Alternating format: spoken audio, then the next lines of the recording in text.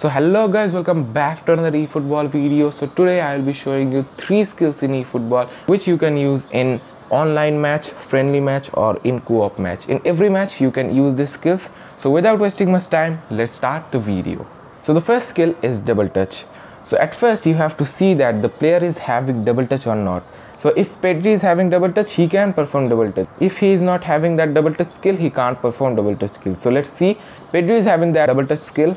So Pedri can perform double touch and if you look around Mikel Oyarzabal, this guy is not having double touch so this guy can't perform double touch. So at first you have to see that the player is having double touch or not. If he is having double touch you can use him as double touch player and if he is not having double touch you can't use double touch on him. So that's the first thing. So now i'll be showing you how to do this double touch skill. So as messi is having double touch skill so i will do double touch with him. So at first what you have to do is touch the dash button okay? As soon as you click that dash button you have to flick this joystick okay?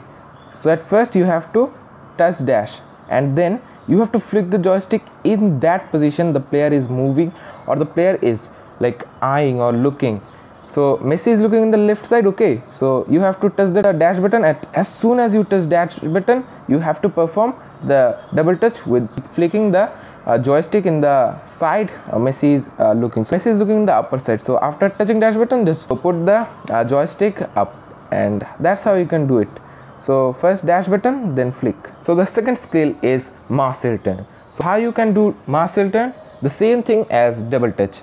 You have to uh, select a player who is having that Marcel turn skill. So Pedri is having Marcel turn skill, so he can do Marcel turn. And Mikel Oyarzabal, this guy, not having Marcel turn, so he can't do Marcel turn. So if you want to do Marcel turn, you have to select the player who is having Marcel turn skill. The same thing as double touch. So now I will do Marcel turn with Del Piero because he is having the skill, he is having Marcel turn. So uh, now I will do uh, Marcel turn with him. So if you want to do Marcel turn, it is very easy very very easy. If you want to do Marcel turn first at first you have to touch the dash button like double touch. Same as double touch you have to touch the dash button. After that after touching the dash button as soon as you touch the dash button you have to flick this joystick in which side?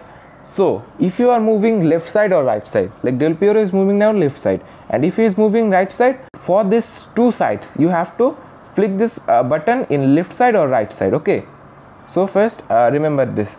If you are moving left side or right side you have to flick this joystick in upper side or down side. And if you are moving uh, upper side or down side you have to uh, flick the joystick in the left side or in right side. That's the rule that's the rule. So now Del Piero is moving in the left side. So I have to flick this joystick in the upper side or down side. So now I will be flicking upper side. Dash button upper side. Marcel turn done. And if you are moving upper side dash as soon as you flick that dash button just push and flick this uh, joystick in the right side. Next skill is fake shot. So for doing fake shot you don't have to get a player who is having this uh, fake shot skill because everyone everyone of your squad can do this fake shot. So at first you have to come to the uh, left side or right side of the wing. So you can do the fake shot.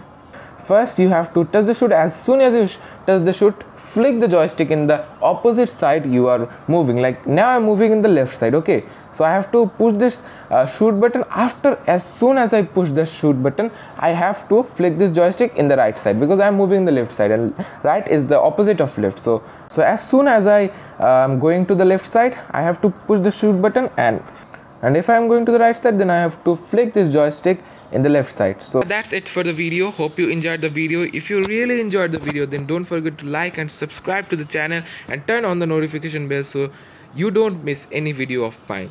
So meet you in the next video. Until then goodbye